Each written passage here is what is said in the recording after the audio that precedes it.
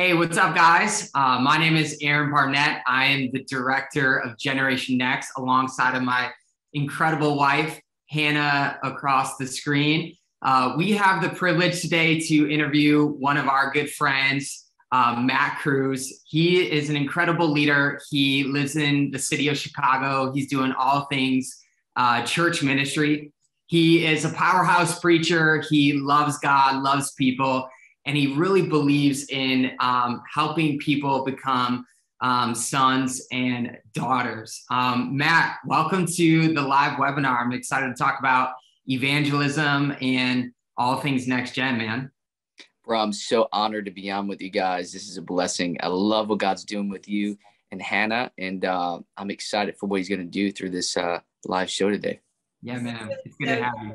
We're so glad you're here, Matt. And for those of you who are tuning in and watching, we just want to remind you what this show and this time is all about. So if you are brand new to the Generation Next show, welcome. We're so glad that you are here.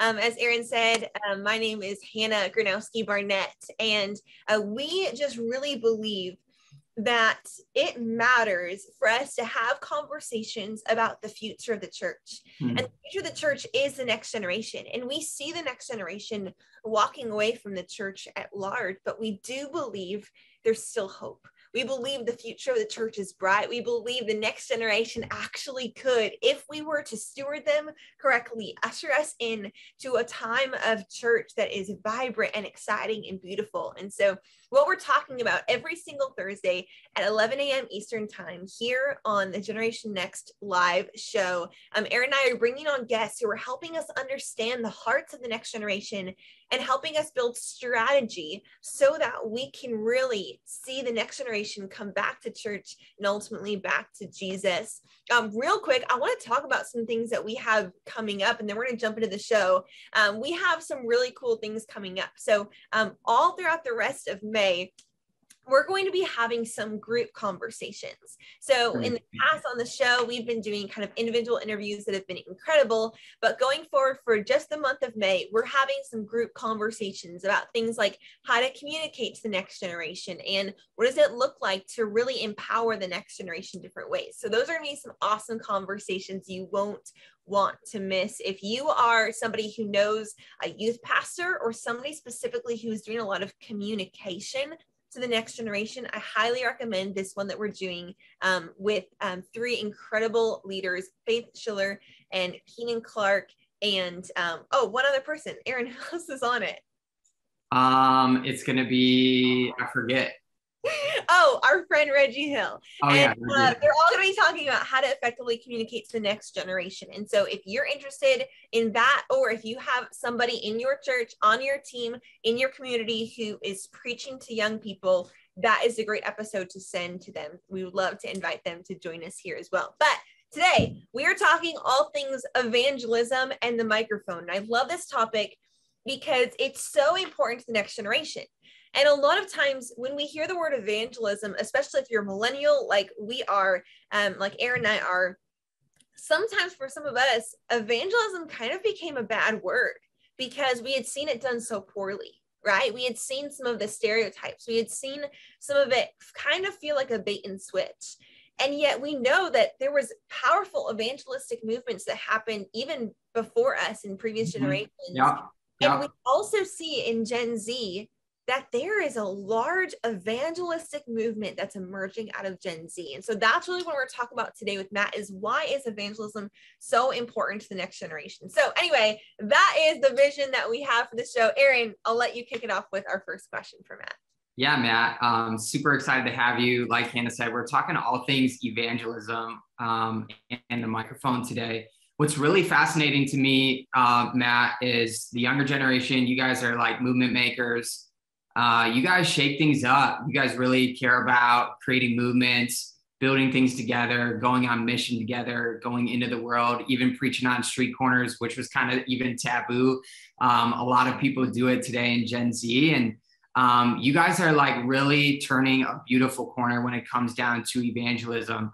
Um, I would love to start this conversation off with just hearing your heart for it Um, I know you're a traveling speaker as well, so I would like love to hear what your thoughts are on evangelism and why you have such a big heart for it. Yeah, you know, I always tell people evangelism is simply this your relationship with God on display in public. Beautiful. So would your your walk with him, like you're displaying that to other people. It's it's a lifestyle, you know, of loving on people. And and it's nothing more. You know, I think that um, you know, a lot of Gen Z, a lot of the, you know, believers in the church today, they're about like revival, a move of the spirit. And I'm all about that. You know, I believe that revival is an outpouring of God's spirit where God's people wake up you know we have like this fresh awareness of his present presence we have a new hatred for sin a new love for his word i'm all about that and but i believe that revival is an experience in the church but evangelism is an expression of the church and i think that what we experience inside the four walls it's got to break out like a river and begin to flow into our communities and a lot of people you know they have a hard time with evangelism because they think you know i'm just not good enough. I feel timid. I feel shy. You know, I feel inadequate. Um, mm-hmm. you know, to go mm-hmm. out and talk to people. I'm afraid of what can go wrong. My thing is like, look, this is what I learned. I first of all, I used to be the most timid. I used to be the most shy. You know, I used to be the most anxious growing up in the church. I'm 25. I grew up, I'm born and raised in ministry, you know, come from a family of preachers, siblings preaching in, in the youth and at, at different services at church. And I would always get asked to preach. And I would like, freak out, you know, just like full of wow. anxiety. I can't talk in front of people. Uh, but 19 years old, God gripped my heart. And in a nutshell, um, he just ignited this holy fire in me. This this courage was infused within me to uh, just for this desire for souls to preach the hmm. gospel mm. with power, with authority, with the love of Jesus. And I just began doing it. I began going out. I'm like, you know what? I'm going to shift my focus. I'm not going to be afraid of what can go wrong. I'm going to get excited about what can go right. You know, I'm going to look for the opportunity, and I and I realized that um, our love should make non-believers question their disbelief in God. Come on, the love good. that we have should make people question why they don't believe in the Lord, why they are where they are. Jesus says, "This command I, I I've given you: love your neighbor as yourself." People would know you by your love, and so man, I mm-hmm. think that's what evangelism is you know it's uh, it's loving on people meeting them where they are um, it, it's sharing about the grace of god and then discipleship is helping them to walk in it mm-hmm. so um, my heart is for souls I, I, I believe that you know the the word is alive and active sharper than any, any two-edged sword proverbs tells us that for the fruit of the righteous is a tree of life those who go out and win souls are wise and mm-hmm. so i mm-hmm. think we need to ask god to infect us with a love for the lost uh, so that we hmm. can begin bleeding for the lost and going out there and realizing that hey people man they need hope they need jesus and, and we've got the same spirit that raised christ from the dead living in us greater is he the bible says who lives in us than he who is in the world. And so we need to step out in faith move beyond our boundaries move without hesitation because somebody's waiting on what god has called us to do. Wow. That is so powerful. And matt i love that you have that passion and that heart. And I honestly think it's so important. Um, Aaron and I are very passionate about the APEST, um, mm-hmm. you know, kind of fivefold ministry conversation. And I identify as an evangelist. I believe that's what God has put on my life. And so everything mm-hmm. you're saying, I'm mm-hmm. just so passionate yeah. about. Like I, I so believe that oftentimes one of the, the one of the ways that we are confusing, I think, the next generation is we're telling them the stories of what happened in the Bible when hmm. Jesus mm. send out the disciples to effectively evangelize, telling people about the hope and the truth and the love of Jesus, right? Yeah. And yet then we invite them into a church and tell them to sit there, and that if they sit there long enough, they'll be a better follower of Jesus. But we're mm-hmm. sending them back out with intention and mission. Mm-hmm. And I really think, and again, maybe this is just my evangelistic nature but i really think if we could help the next generation realize and can like connect to yeah. this mission of evangelism their hearts would would be unleashed because there's a mission there's a goal there's something that they have to be a part of and yeah. Um, I, I see that as an opportunity and yet I also know there's some real challenges to that, right? And I see some mm. of the Gen Z. I think that's why Gen Z is so passionate about evangelism because it is this mission. It's this right, opportunity to be a part of something larger than themselves, to have yeah. to go after. Um, but where are some of the breakdowns? Like, why do you think um, some churches are struggling maybe to unleash the next generation to go back into the church? What are some of the maybe lies that we believe subconsciously, even um, specifically church leaders, about the next generation that prevents us from challenging them towards evangelism? Yeah, I think that's a great question. I think this young generation is looking for the raw truth. Like they want the real thing. They mm. want to, you know, encounter the real Jesus. They don't want they don't want fake, dry, you know, dead religion. Like they want the real thing. And so I think that leaders need to be real. They need to be transparent.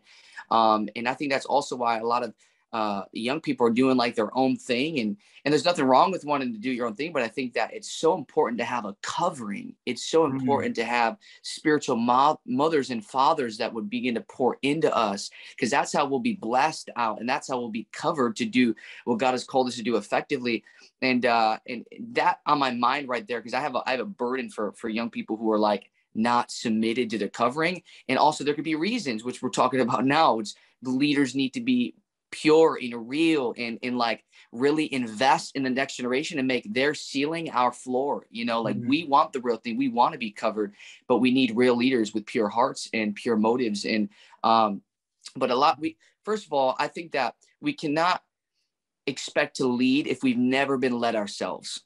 That's great. You know we have to submit under a cover. I think a lot of people um, a lot of young people have many preachers and, and, and people they listen to, but yet few shepherds they submit to you know so i think that when we get submitted when we lay down our spiritual roots in in, in a in a church and we make that house we're home our mm-hmm. home we can really learn and and but it's got to be a, a place where you know the the pastor the leader is really having a heart for the next generation i think that like for example my pastor of lighthouse church uh, this is a 26 year I've been attending there. My parents are the senior assistant pastors, and our pastor invests in the next generation. I mean, he is all about the next generation. He he puts them up on the platform like to preach all the time. He even calls the young people the all stars. He brings them up for like four weeks straight. Young people, young people are preaching. You got the young people, then you got like the young adults. And in both of them, we have the Ignite young adults and then the All Star young people. Wow. They go up there so young, little short mini people, and they're preaching the gospel. They're just doing that thing with passion. And and my pastor, he's just all about it because you got to give them space to be who they are. You got to give them space to to just go out there and get comfortable comfortable with this thing.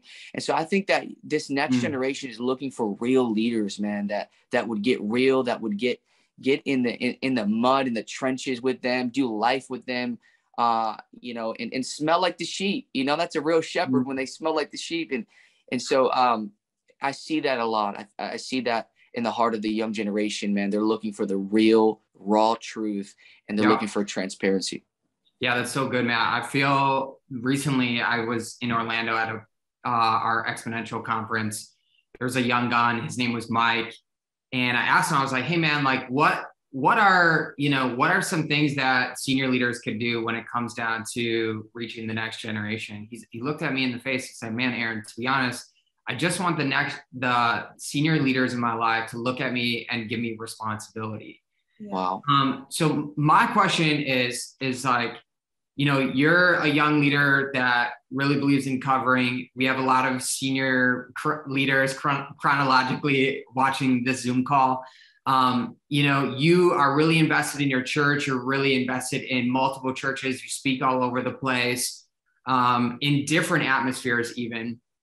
When it comes down to responsibility within the next generation, how do we how do we as next gen leaders come alongside of um, leaders above us to really actually create space like you're talking about. What are like more practical tangible things that we could walk out or do when it comes down to linking arms and and and talking about what does a covering feel like?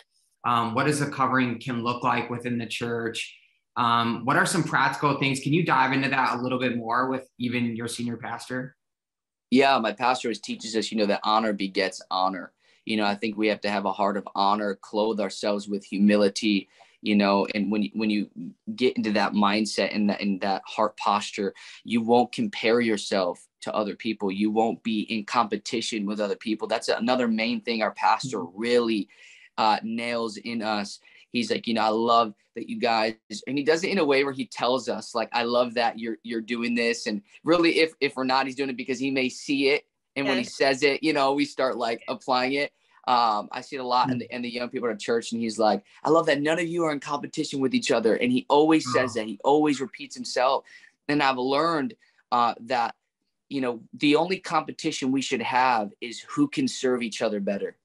Mm. You know, I really believe that. And I think if we get in a place where we honor, where we walk in humility, and where we find opportunities to how can I serve you, I think that is such a place, man, where we can just – uh, have a healthy uh, bond and healthy communication yeah, and a healthy so covering and everybody that's a healthy way we can link arms. And also just like uh, demonstration you know, mm-hmm. I think the, the world out there is not looking. I think Leonard Ravenhill said this. He said the world out there is not looking for a new definition of Christianity. They're looking for a new demonstration of Christianity. Mm-hmm. And so, what strengthens your spirit weakens your flesh. When you see things uh, like be demonstrated, like the love of the Father, mm-hmm. when you see, you know, um, Wow. Signs and wonders follow the preaching of the word.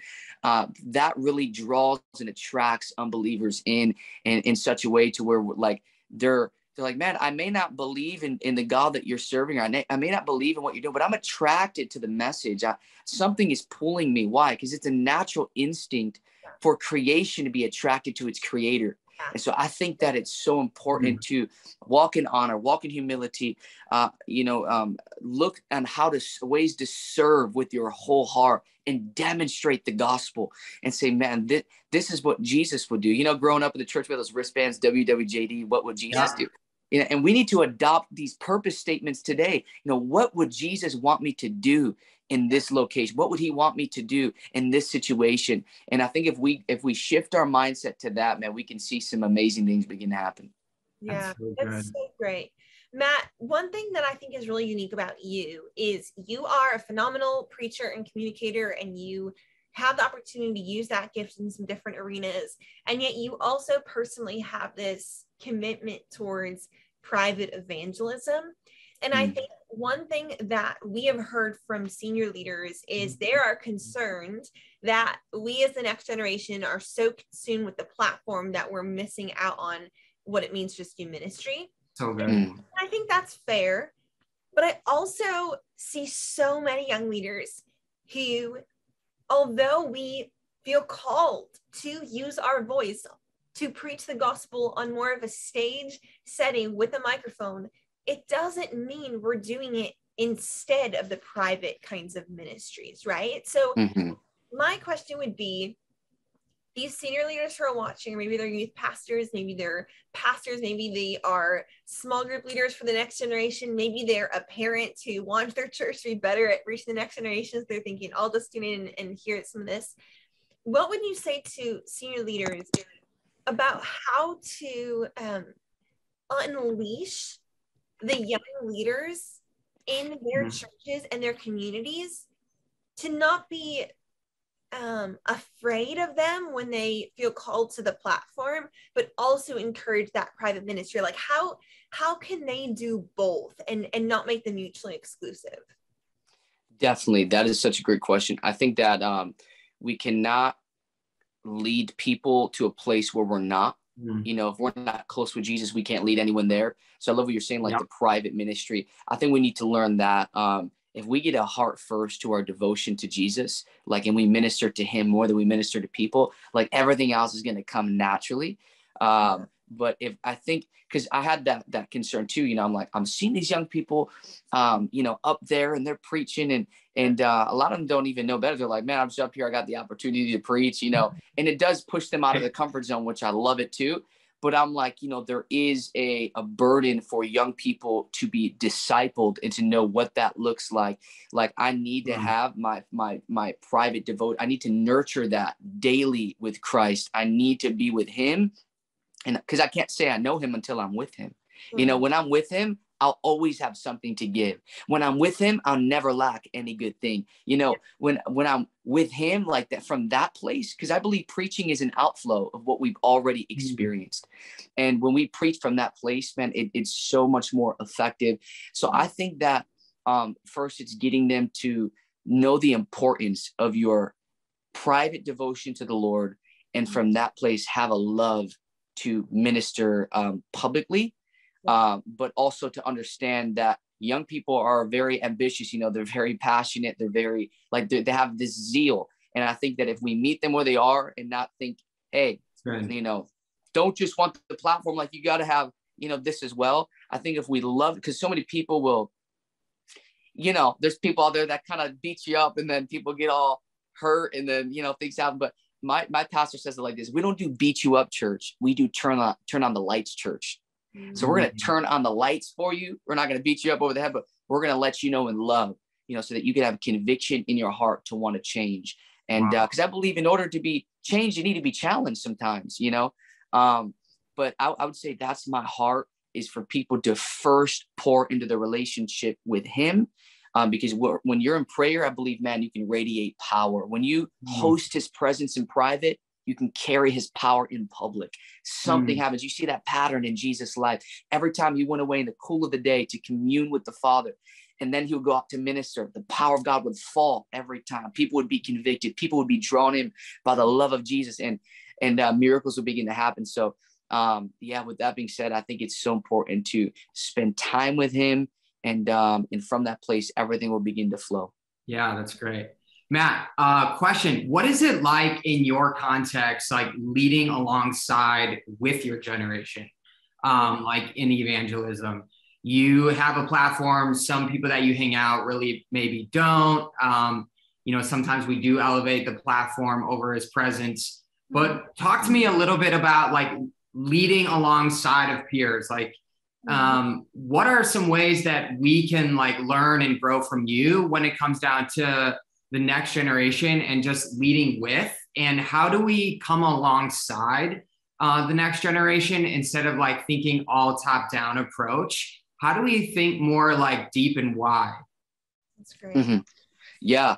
Uh, first, I would say uh, to a young person, even watching this or leaders, that you know, if you don't have a platform, like that is totally fine you know if you if you've got jesus he is your pulpit you know if he's all you have then all you have is all you need and so I would say, uh, you know, don't compare to other people who may have more influence. I'm a big believer in, um, you know, being hidden. You know, I think that we got to know that God's timing is accurate. He's never late, he's never early, but he's always on time. You know, and I think that he knows when we're ready for something. So I think walking alongside people who may not have a platform or just walking this alongside them in general um, in ministry, I think that we have to be, like I said before, very transparent because there's some people who miss the mark. They'll have a shortcoming, then they're like, man, I can't do this anymore.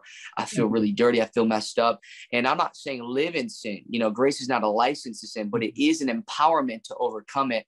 So I think that we need to give ourselves room to make mistakes. If we if we mess up, if we misspeak, if we miss the mark, you know, get back up. The Bible says a righteous man falls seven times, but he gets back up. Mm. I believe it's a righteous thing to get back up. God doesn't measure how many times we fall. He measures how many times we get back up. So I think a lot of people, that's a big thing. When they fall, they're like, oh, I'm done, you know, whatever may be like, I can't wow. do it. They feel so I think is no, get back up, you know, come yeah. on, get shake that off, get back up and get going. Keep your eyes, keep your gaze on Jesus. He gives perfect peace to those who keeps their eyes fixed mm-hmm. on him. Hebrews 12, 2, let us throw off everything in the sin that so easily entangles and snares us, and let us run with perseverance. There's a race marked out for us, keeping our eyes on Jesus, the pioneer perfecter of our faith. So I think it's it's it's throwing off the things that keep us bound, making a habit of choosing the things that move us forward over the things that mm-hmm. hold us back.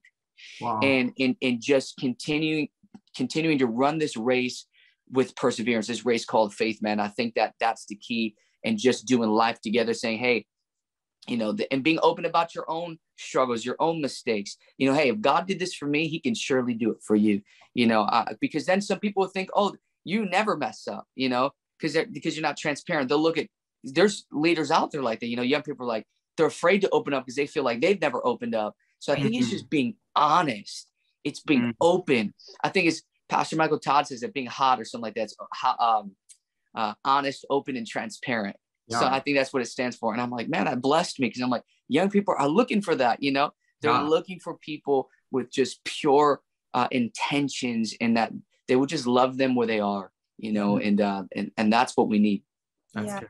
that's so great, Matt. You know, some of our senior leaders might be watching this right now and they're thinking, okay, this is great. And if I was pastoring a Matt Cruz, I could do all these things, right? Like you know your Bible, and I wish our young people knew the Bible like that, or I wish our young people were as passionate as Matt, right? So let's talk for a minute to the pastor or the youth youth pastor or the leader who is looking around the young adults around them and all they're seeing is apathy all they're seeing is kind of a one foot out, one foot in type of following Jesus. Yeah. Um, maybe they're just feeling so discouraged and they're like, okay, it must be easy for Matt's pastor, but what about me pastoring my young adults, right? Um, what would you say to those kinds of leaders about how to spark that heart for mission and evangelism in their young adults? Yeah, the key is this making Jesus Lord of everything. Why do I say that? Mm-hmm. Because when I grew up in the church, I was just a churchgoer. I was not a disciple. You know, I just wow. was like, I was in it. I loved God. No one can convince me he's not real. You know, there, there's a love there. But yet I when I left, I wasn't living out what I professed to believe. You know, I mm. I often tell people this. I had enough of God in my life not to enjoy the world but I mm. also had enough of the world in my life not to enjoy God. You know, so I was going through the motions and I realized that God was not after my perfection, but rather my surrender. Because when I'm living a surrendered life, He's Lord of every area. And so there's a difference I've learned between being saved and Jesus being Lord of my life. And um, I would say it this mm-hmm. way when He is our Savior, um, we have Him. But when He's Lord, He has us. Mm-hmm. So my question is, how much of you does the Holy Spirit possess and control. When he's really Lord of your life, then you are going to have a passion for the things of God. When you see him, you cannot stay the same. When you are when you encounter him, you cannot deny him. And I think that from that place of making Jesus Lord and you move from being just a church member to a minister, uh, you know, a churchgoer to uh, a follower, a disciple of Jesus, man, you'll begin to have a passion um, for for ministry for people and uh, he just stirs your heart toward him stirs your heart toward truth stirs within you this desire for intimacy with him a desire to reach the lost um, and so that that's what i have experienced firsthand um, I, I when i encountered the lord at 19 and uh, man he just got a hold of me and my heart was burning for the things of god I think it was when I really made Jesus Lord. I allowed him to sit in the driver's seat of my life. I made him the lover of my soul just sat on the throne of my heart. From then, that point, I began having a passion for people and missions and, and just going out there. And uh, and the key too is this, you know, it is not our call for people to um, accept the truth, but it is our call to ensure they have a chance to accept the truth. Mm-hmm. And so if we don't step out in faith, how are they going to, you know, have a chance to accept the gospel. So I think from that place of you're like, man, Jesus, have your way in every area of my life. Mm-hmm. Um, sit in the driver's seat, guide me and guard me, lead me, and then everything that I do from that place, you begin to see things happen. Yeah. Wow, that's so good, um, Matt. So I think one thing that I've been thinking about recently is um, like two words: um, environment and experience. And when I look at your life, you are an inspirer. You like, I'm on this call, I'm like ready to like flip tables, like, let's go into the world, preach the gospel, man. Like, you get me rowdy for like the things of Jesus and just really appreciate uh, just like your heart, man. Like, you really inspire me. But one thing that I think about is like with um, environment and experience, like, you really care about like experiencing God and then going into the environment and living out what you experience. Um, sometimes I also think the environment as leaders within the church is maybe not set up for the Holy Spirit to move, for mm-hmm. evangelism to go forth. In your context, what have you learned up to date about experience and environment, and how do those like really go hand in hand to create room for the Holy Spirit, like to have his perfect work in you, so that we can actually be more missional, not only through the church, in the local church, but also into the world? Yeah, that's great. Yeah, great question. I think that when you make space um, for people to come in and uh, you create space for them to come and encounter God, it's totally different. You know, I, I know I'm sure you you guys know about you know there's nothing wrong with with having programs and you know structure. I believe in all that. I believe that's important. But a lot of the, a lot of the times I think that we need to minor in programs and major in prayer. You know, or have like a uh, services that really allow the Holy Spirit to come in and move, where we surrender our agenda for His agenda. You know, yeah. we don't want to make the church in our image, but the image of Christ. You know, and I think that if we really allow God to come in and do what only He can do, what He alone is capable of doing, we can see a lot of mm-hmm. young people's hearts be set ablaze. Um, so when they come in and they encounter the one who changes everything, like every year we have our annual Rise Up Revival conference, and where people come in and, and they counter Jesus in such a way where they want to go out and turn the world upside down for Christ. You know, they want to just reach people for Him and, um, you know, walk like Him, emulate Him with their life. Uh, but I think it's developing a love for Jesus so deeply in church services where the Holy Spirit is moving and stirring our hearts, because that's where we go in to be filled up so that we can pour out. That's mm-hmm. where we mm-hmm. go in to encounter the power of the Holy Spirit to become an, an encounter of the Holy Spirit. You know, wow. that's we're not just in because church attendance isn't proof of our salvation. His residence in us is proof of our salvation. So I think that a lot of people, mm. you know, they they want direction when he wants affection. You know, they want they want the call without the burning bush. So I think it's starting from that place of of encounter with him. Let him stir our hearts. Let him, you know, let him um pierce our hearts with compassion, fill us you know, with the, with the with thoughts about Him, thoughts of peace and not of evil. You know, where our affections become heavenly, our thoughts become heavenly, and out of that place, we'll begin to see Him move. Um, you know, in, in a unique way. But I think it's it's creating spaces and allowing the Holy Spirit to move in the way He desires. Uh, that's why I love when I go to church services and in, in places where like worship is so long. I'm like, oh my gosh, I love this. You know, because there's going to be a lot more worship in heaven than preaching. Mm. you know, and uh, and worship is so powerful. You know, the devil used to be a worship leader in heaven, and he got kicked out. So when we lift up our hands and we worship, we're reminding him of what he once lost. And there's so much power in worship because you can't tell God who He is and Him not tell you who you are. And when you know who you are, man, you're gonna want to do the things of God. So there, there's so much to it. I, I think um, mm-hmm. in encountering the presence of God, He just does so much in your heart. And um and so that that's where i'm at man. I'm like let let's let's invite him to come in and have his way. And i know that uh our minds are going to change our hearts are going to change our desires are going to become his desires and then we can go do what he's called us to do effectively. So real quick how do we maybe maybe there's like the lead pastor you know watching this call and he's like man this is this this young gun is passionate like I totally get it. Like I want to create like more systems of flexibility within worship.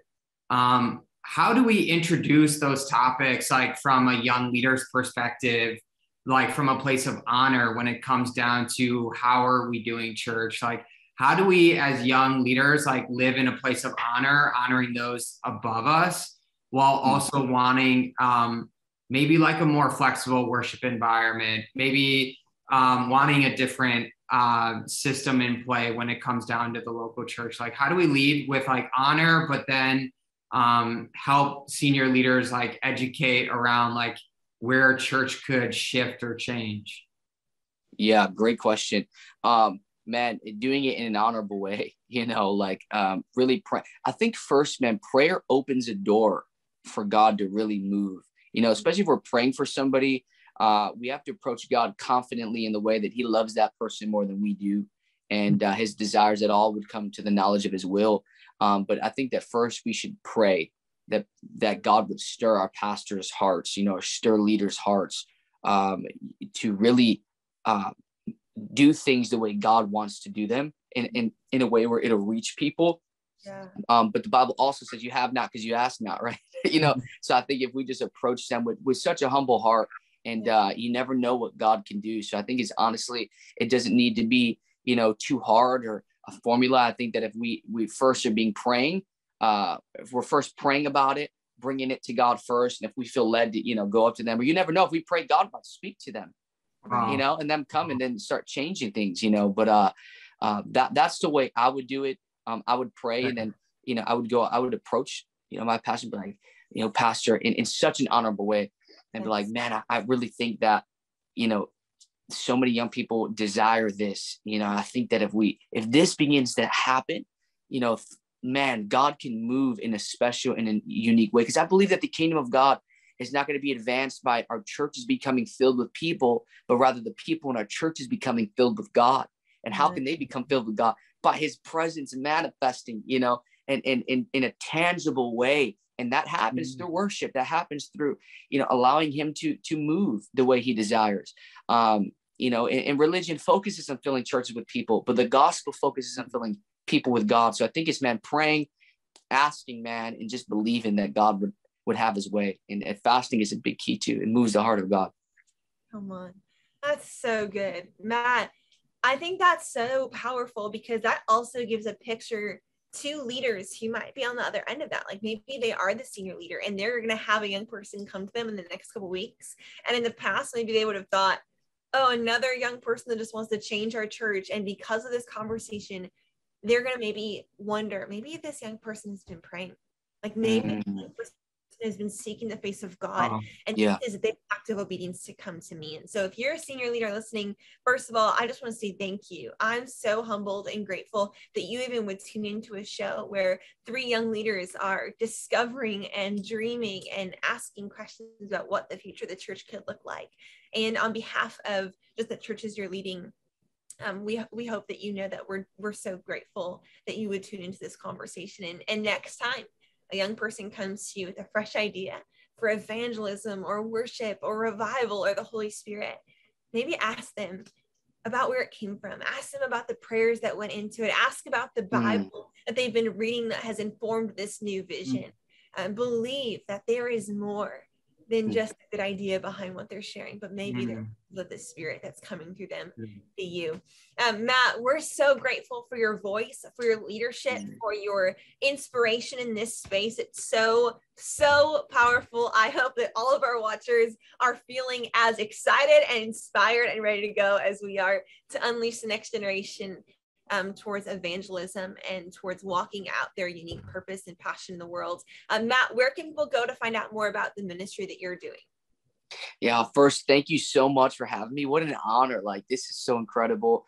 Um, I, I, feel God all over this, and I'm excited to see how people are gonna, uh, you know, move into the things of God after this, and um, even seek Him for more. But you can you can find me. Uh, you can search my name on all platforms, and I'll come up on YouTube. Uh, you just type in Matt Cruz or Instagram or Facebook. Uh, my website is mattcruzministries.com. Uh, you can find uh, so many different things on there to connect with the ministry and, uh, and watch different interviews and, and stuff like that. But um, I'm excited for what God's doing. I'm grateful to be a voice in any way. And um, I look forward to the days ahead. I believe that greater is coming. The best is yet to come. That's right. That's right. Amen and amen. Um, Aaron, would you close that in prayer? Yeah. Thanks so much, Matt. Really appreciate you, bro. Father, thank you uh, for this time. Yeah, God, I just uh, want to sit here in a posture of gratitude uh, for Matt and his life and his heart uh, for you and your word. Um, God, I just thank you that he is a leader that just resonates your presence um, and God, I just thank you that He's all about giving your presence to your people. And Father, I just pray that as we're sitting here and listening in, and I'm leaving inspired and also convicted to go and read my Bible more. Uh, Father, I just thank you so much for uh, people that really care about your people. And so, God, I pray that we'll carry that heartbeat out of this Zoom call, that we'll be people that are consumed with your presence because your presence really changes people. And so, Father, I pray that as we go about our ways. God, I pray that you'll just bless Matt and his ministries um, and his voice. God, I pray that you'll just turn extra favor upon him. Um, God, thank you for this moment and this time and space. I thank you for the new narrative that you're writing as a result. Father, we love you. Amen. Amen. Amen.